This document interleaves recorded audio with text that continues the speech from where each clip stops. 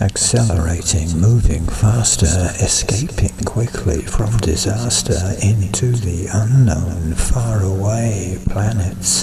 of Centaurus A, Proxima, fading out of sight, faster than the speed of light, an unexpected red star nova,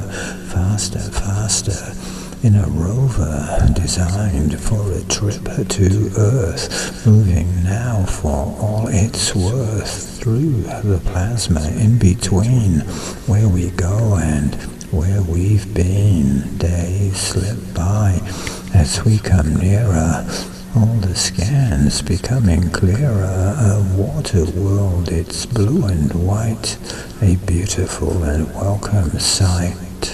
civilization. 3.3 seems to thrive there, blissfully unaware that we're arriving, first contact made as we are diving into